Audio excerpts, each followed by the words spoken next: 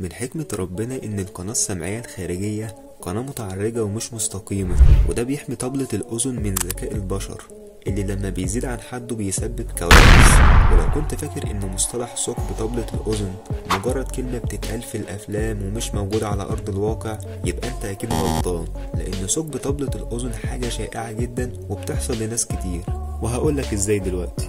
عندنا بتقدر أذن البشر إنها تسمع الأصوات اللي بيتراوح ترددها بين 20 هرتز و 20 ألف هرتز. ودي أرقام مش عالية جدا زي ما أنت فاكر مقارنة بكائنات تانية زي الكلاب مثلا.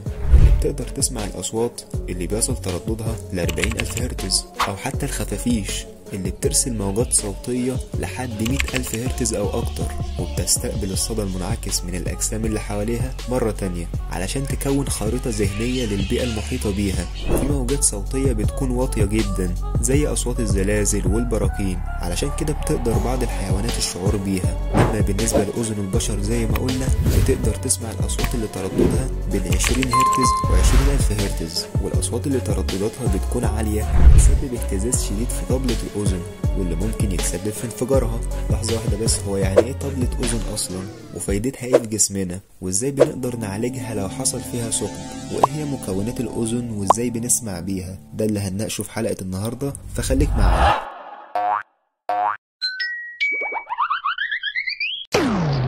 عندنا الأذن هي العضو المسؤول عن السمع والتوازن. وبتتكون من ثلاث أجزاء رئيسية وهي الأذن الخارجية والأذن الوسطى والأذن الداخلية.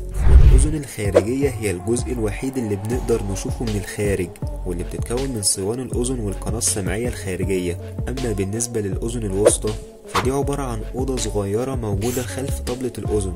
الأوضة دي بيكون جواها تلات عظام صغيرة بنسميها العظام السمعية. أما الأذن الداخلية فهي عبارة عن مساحة صغيرة داخل الجمجمة واللي موجود جواها القوقعة اللي بنسمع بيها. كمان جواها القنوات المسؤولة عن التوازن. وبالنسبة لطبلة الأذن فهي موجودة ما بين الأذن الوسطى والأذن الخارجية وهنعرف وظيفتها إيه كمان شوية. طيب إزاي بنقدر نسمع؟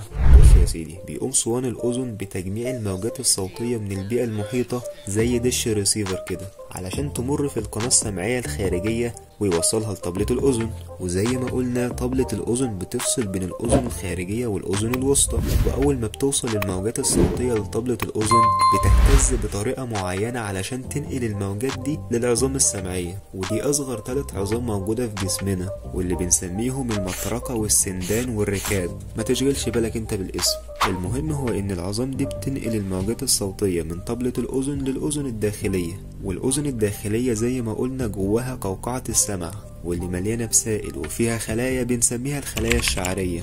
الخلايا دي هي اللي مسؤولة عن استقبال الموجات السمعية. فأول ما بتوصل الموجات السمعية للخلايا الشعرية بتهتز بطريقة معينة علشان تولد إشارات عصبية. نقل الإشارات العصبية دي للمخ عن طريق العصب السمعي. طيب إزاي بيحصل ثقب في طبلة الأذن؟ رقم واحد زي ما قلنا في بداية الفيديو لما بتوصل موجات سمعية ترددها عالي زي أصوات الطيارات والألعاب النارية وغيرها. ورقم اتنين لو اتعرض الشخص لضربة شديدة في الرأس أدت لانفجار طبلة الأذن. وبمناسبة الضربة الشديدة على الرأس فهسيب لك فيديو في الوصف بيتكلم عن أضعف نقطة في جمجمة الرأس. لكمة واحدة فيها ممكن تؤدي للوفاة. ورقم ثلاثة لو دخل أي جسم غريب من الأذن وده شائع أكتر بين الأطفال. والحمد لله إن القناة السمعية الخارجية متعرجة ومش مستقيمة. أو لو كان في عدوى شديدة في الأذن والشخص أهملها أو ما تمش علاجها بالطريقة الصحيحة. كل دي أسباب ممكن تؤدي لحدوث ثقب في طبلة الأذن. وعلى عكس ما ناس كتير متخيلة ترقيع طبلة الأذن مش هي الخيار الوحيد الموجود لأن في معظم الحالات بتستجيب طبلة الأذن للعلاج وبتلتئم تلقائيا من غير جراحة والالتئام بيكون أفضل عند الأطفال اللي سنهم صغير. ولو اضطرينا لعمل جراحة لترقيع طبلة الأذن فبنرفع الجلد اللي بين طبلة الأذن والعظام علشان نقدر ندخل الدعامة للأذن الوسطى ونثبتها على طبلة الأذن من الداخل. وبنرجع طبلة الأذن لمكانها مرة تانية. وممكن نحط قطع بغضروف علشان تزود من تدعيم الرقعة أثناء فترة الالتئام. وبندعم الرقعة من الداخل والخارج بإسفنج قابل للامتصاص. وفي طرق تانية للعملية. عن طريق الدخول بالرقعة من خلال الثقب. وبنقطع حوالين الثقب ده بشكل دائري علشان الالتئام يكون أسرع. وبتلتئم طبلة الأذن في خلال من شهر لشهرين وده بيعتمد على حجم الرقعة وعلى عمر الشخص وحالته الصحية. وفي أمراض معينة بيضطر فيها الأطباء إنهم يعملوا ثقب في طبلة الأذن عن عمد. ممكن نبقى نعمل لها فيديو منفصل. وفي النهاية لو عجبك الفيديو ما تنساش تعمل لايك وتشير الفيديو مع أصحابك. لربما يفيد أي حد. ولو عجبك المحتوى اللي بنقدمه اعمل اشتراك في القناة وفعل زر الجرس علشان يوصلك فيديوهاتنا أول بأول. سلام.